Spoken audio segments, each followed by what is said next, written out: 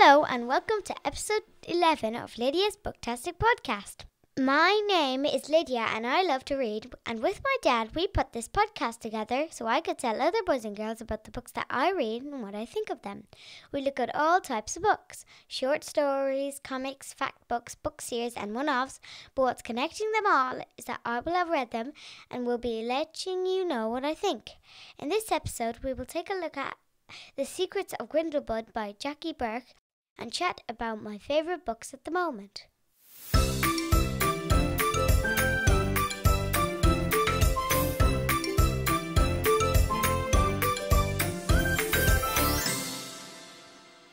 Hi Lidia, how's it going?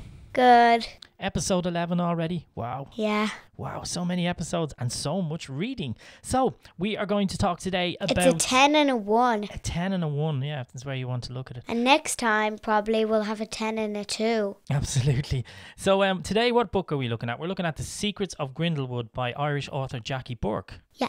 And uh, Jackie got in touch with us and she asked us, would we be interested in having a read of this? But it turns out you were going to read this book anyway, weren't you? Yeah. Grand. And um, in our school library, um, sometimes there are these posters of covers of a book.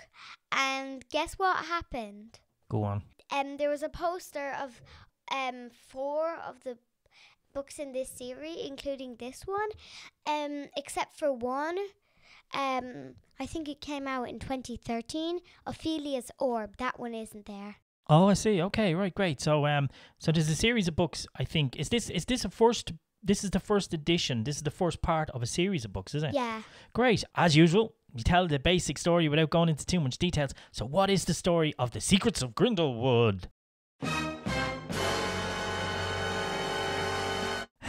To do that.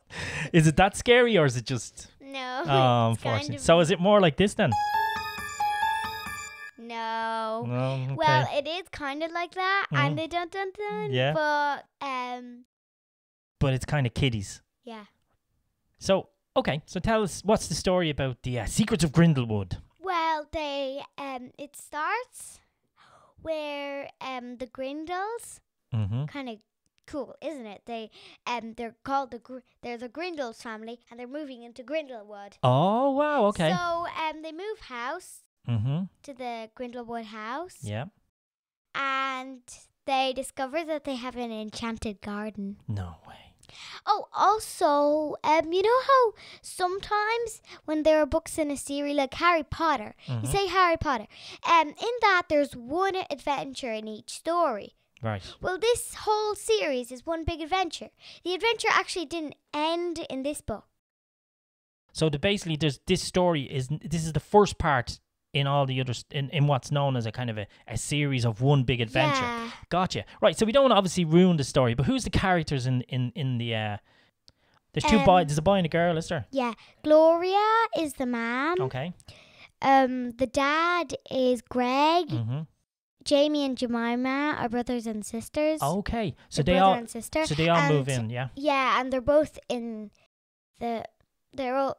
They're all Grindles. Mm-hmm. They came from Alaska. Oh right. Wow, that's pretty cool. Yeah, um, and mo- the main main characters Mhm. are the animals, but the actual main characters of the animals are Timber and Teddy. Those are the pets that they have in Alaska. And guess what? What?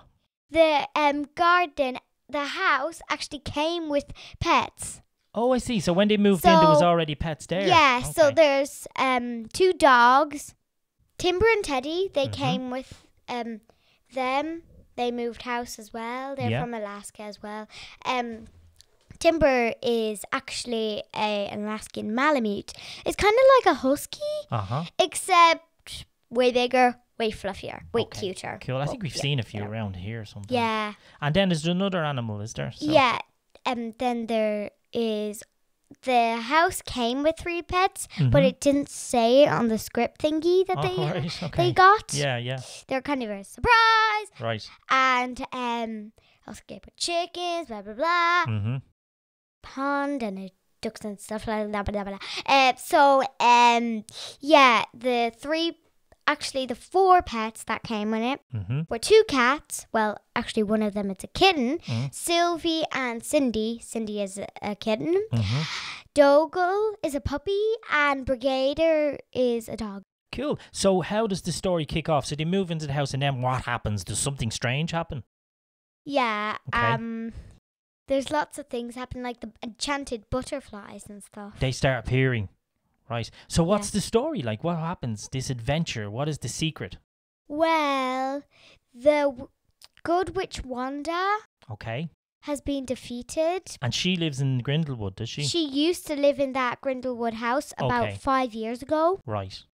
Um, until she was um killed by the um evil warlock Worfeus. Worfeus. Wow, that's a cool name. So a warlock is a male witch, isn't it? Yeah, wow. So there was a battle between him and her and they had a fight and she lost. Yeah, but before she died, um, Mm. she cast a spell on him Okay. because like there's this um scary woods behind a few miles away. Right. So she enchanted him so that when he went into the woods, he Mhm. went into the woods, and then um he her spell made him turn into a wolf. Okay. So he's in the woods as a wolf. Yeah. And do uh, the kids come across him, is it? no, not yet. Right. And he's trapped in the woods. He can't get out because of the spell. Okay. So he wants to get away from the spell, is it? So what happens? How do the kids get involved then? Um, I don't exactly know because of the the series is one big adventure. Right, so and that hasn't I didn't really yet. read it yet. Okay. I only read that book. So what is this book about then? What does this story tell? Well, it's about how they move in and they discover the um enchanted garden. That's mostly about it. okay, and what's in the Enchanted Garden that makes a really good story? My favorite part is the they discover things Mm-hmm. like old secret well Yeah. and stuff like that. Mm-hmm. and it's really good because um they left the wildlife to grow for a few days like for a few months actually and then only then they started cutting the hedges but only like so they didn't hurt any of the animals or the wildlife Okay, and what's this story about this um this uh secret scroll? What's the story with that? Well um that secret scroll is actually um that she wrote it This is Uh, Wanda. Wanda, Yeah. she wrote it, and she hid it in the garden. They think Okay. it's in the garden. Um, they um, and um, well, that is the spell to set um Wolf Orpheus free and out Okay. of it and into his normal shape. but it can also defeat him, can't it? She wrote spells on the on the on the scroll that yeah, can, can it defeat. can also defeat so him. is I think And um, the animals have to try find him. hmm find it before what Warf- does? Well, you're probably wondering how he's supposed to find it since he's Mm. trapped in the woods. hmm Um, he makes these um fake animals like crows that are actually enchanted, I see. like so and is the, out the of a cauldron, ah. and he sends them to look for it. and are the animals led by somebody? Is there a hero animal in it? Yeah, Timber, the Alaskan Malamute. I get you. So Timber has to lead the animals and try and find the secret scroll before Yeah, uh, the warlock does. Right, cool. So that's what the first story is about. So how how did you find the story? Was it exciting? Was it scary? or- Really, really, really exciting. Right, and was there any time in the book that you were a little bit scared? No. No, not really. So it's not as it's kind of a, it's it's kind of an actiony type book, is it? Is there lots going on? Yeah. Grand. And obviously we have to ask these questions. Uh, you're seven. What do you think? What would be the earliest age that could probably read this? Would it maybe six, six or seven at your Mm. age anyway? About six and a half. Right. And then you can get read the others. I see. So it's a little bit scary, probably for maybe younger kids. yeah. Yeah, Grant. And tell me, is there any? Um, there's a few illustrations in it, isn't there as well? So kind of guide you along as well, isn't there? Yeah. Right. So you actually get to see the characters. I see that there. It's written in the books. Yeah. And there's a couple of big pictures as well too. Yeah, and there's about three or four or five of them. Yeah. And there's also a prologue. I think it's called a prologue. Prologue. Yeah, that tells Yeah. us a little story beforehand to give you an idea of what's happening. Yeah, and it's really good because Mhm. then it's easier to know. Mm-hmm. Unless you want it to be a big, big, big, big, big surprise. Okay, I Um, see. yeah. And so, would you recommend this book then as a good read? Yes. So it's the kind of book you want to curl up at night and sit down and have a read to, is it? yeah. Grant, and were you like were you reading big chunks of it, or did it take a while to get through? Probably, I think it took you about a week, didn't it?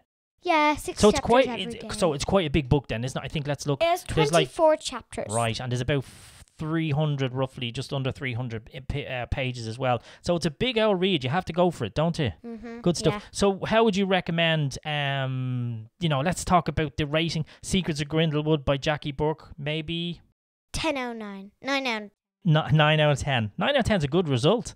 So, and you're going to There's pick no up. such thing as ten out. of No, there's not, but that's okay. really.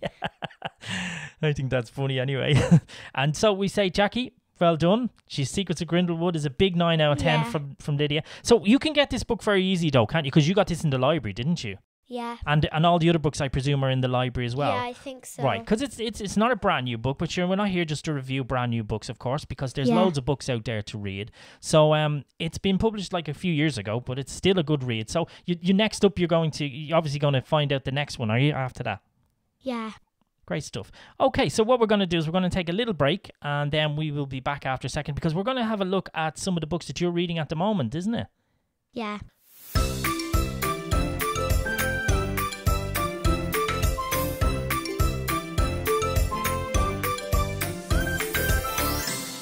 Welcome back to part two of episode 11 of Lidia's Booktastic podcast.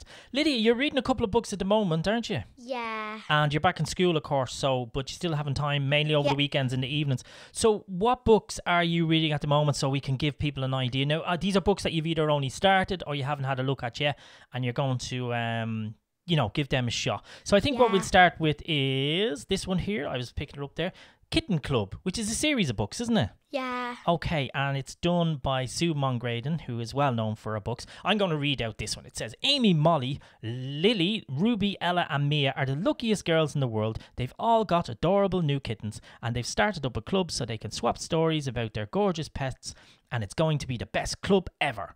Right, so the stories are about the kittens, are they, and the adventures that they have. Okay, so um, you have you're going to start on ep- they're they're in uh, kind of parts, aren't you? You've already one done one, so we're going to Yeah. do number two. Is what's that called? Did you?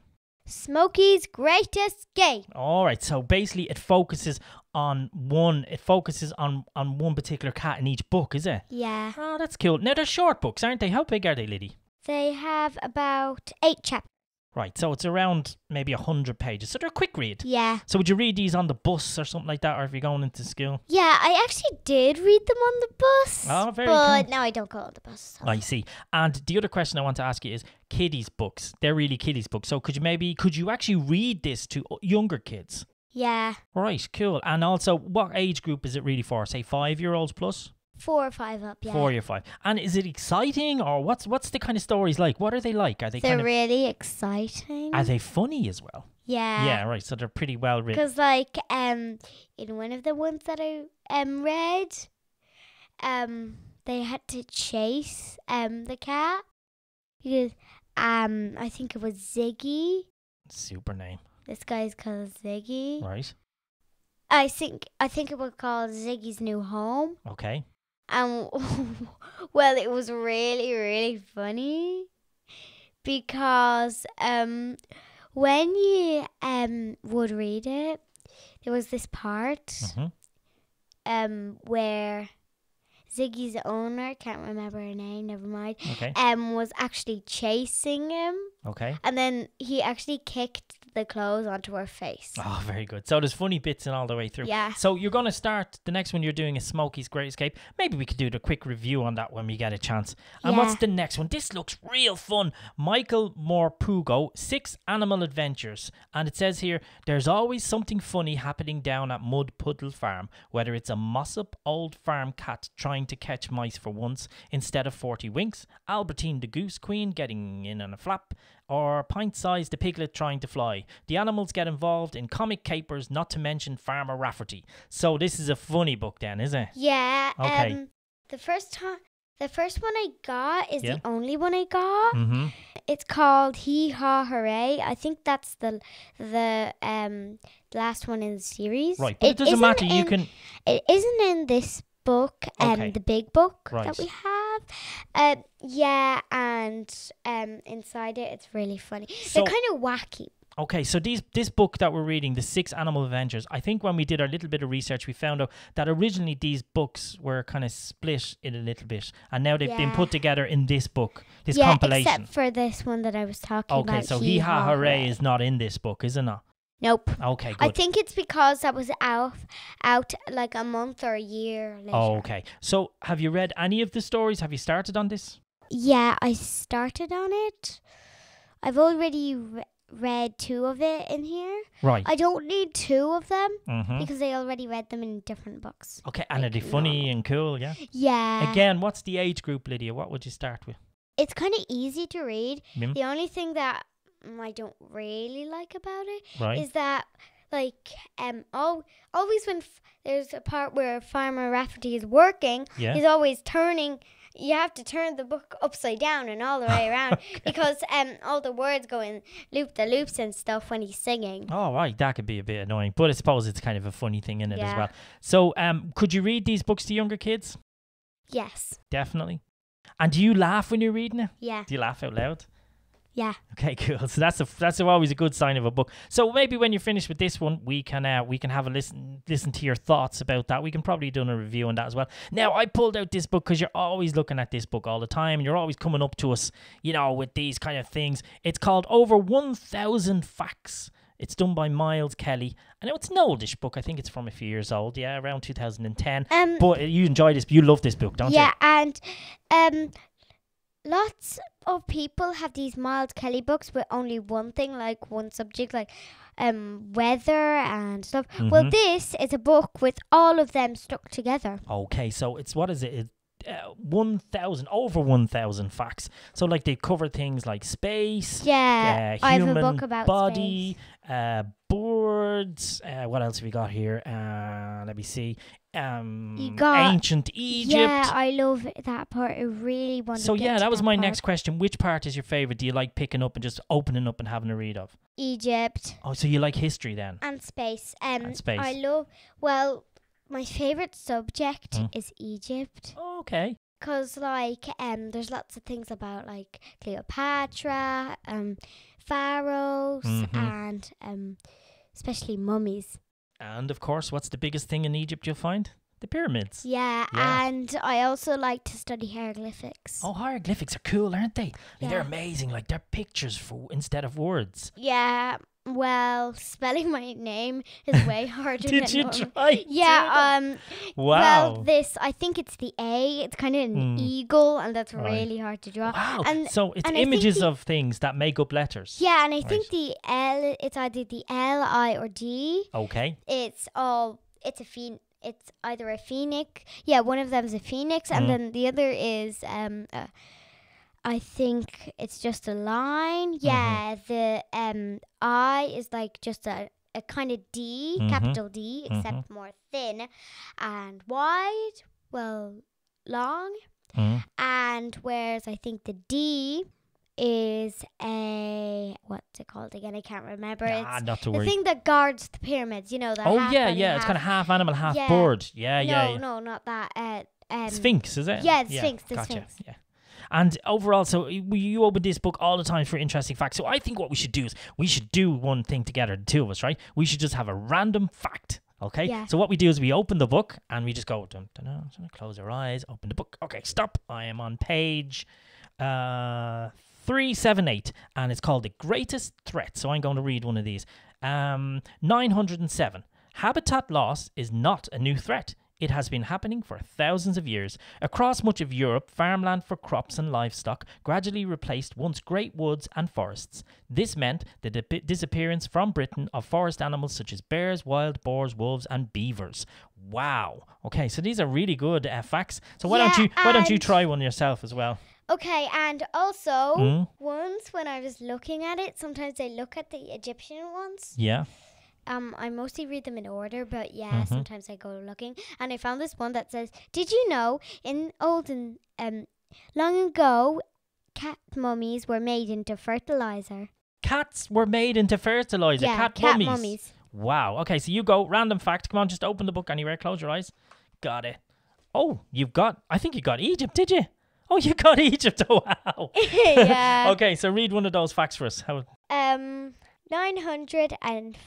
955. Okay, yeah. Fi 955. Yeah, go ahead. The temple at Abu Simbel in the south of Egypt is carved out of sandstone rock. It was built on the orders of Ramses II. The second, yeah. Very kind good. of hard. No, that's brilliant. It's like it says 11. Yeah. Um, it, the temple was built in such a way that on two days each year, the 22nd of February and the 22nd of October, the sun's first rays shine on the back of the inner room, lighting up statues of gods. Wow, that's amazing. So you, I can't believe And that. I can't believe that you picked out an Egyptian uh, fact. Sometimes there are these um um facts like I don't believe it, and there's one here I don't believe it. Okay, go ahead. Temple visitors had to shave their off their hair and eyebrows before they were allowed to enter the building, Wow, I don't believe that. the sacred buildings. I don't believe that. yeah, and that's that. exactly why it says I don't believe it. okay, do you believe that? Imagine you having to kinda. shave your head to go into the temple. I think I'd give that a pass. You'd be bald for the rest of the um, of your life It's like. Lidia, do you want to go into the temple? You have to shave your head. dun, dun, dun. Can you imagine? Okay, so this is a really good book. So you'd recommend Luckily, this year and these days, the, you go in tours and you don't have to shave your head. Exactly, that's brilliant. So you would like to go to Egypt then, I presume? Yeah, well, we. The only thing I don't understand hmm is how did they shave their heads off? They probably just use blades. They didn't have blades. Ah, they did. They had swords and stuff like that. Anyway, so look, uh, definitely a book, book you'd recommend. Miles Kelly. Yeah, Never finish it. You'll always go back to it, won't you? It's kind of like a perfect book. you'll never finish it. And you'll, it's- fi- you'll be still reading it in hell. Okie dokie. Right, listen. You that- will. It's I- I giant. believe you.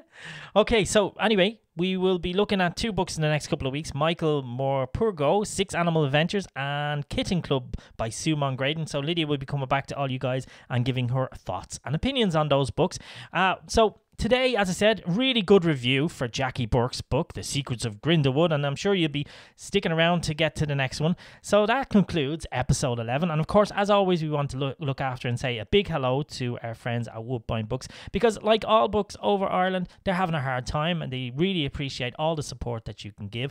Books are still being printed, isn't that right, Lidia? Yes. So they need to be bought. So please go into your local bookshop, just like Woodbine Books in Kilcullen, and ask for your favourite book. And if they don't have it, I'm sure they'll say, We will do our very best to get it. Isn't that right? Yeah. And of course, don't forget to visit your local library as well. That's also important because the people all around the world who are working in libraries are working in very hard circumstances. And we want to show our support by doing what? What do we do? We go to the library and Ready, steady, read. that's exactly it. So listen, guys, until next time, uh, take care and uh, have a good time. And we will say goodbye to you now. Bye. Bye bye, guys. Take care.